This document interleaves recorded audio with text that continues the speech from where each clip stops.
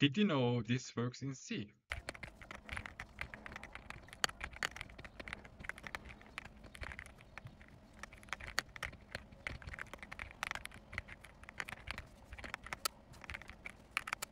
Basically, array of index i is same as the array of i of index array. That's because in C, there's a pointer arithmetic, which is basically means array of i is actually just a pointer to array plus i.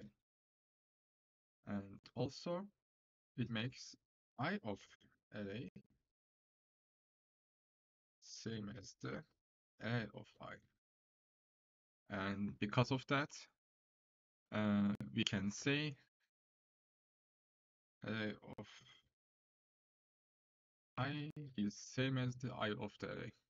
This is weird, it's real, it is C.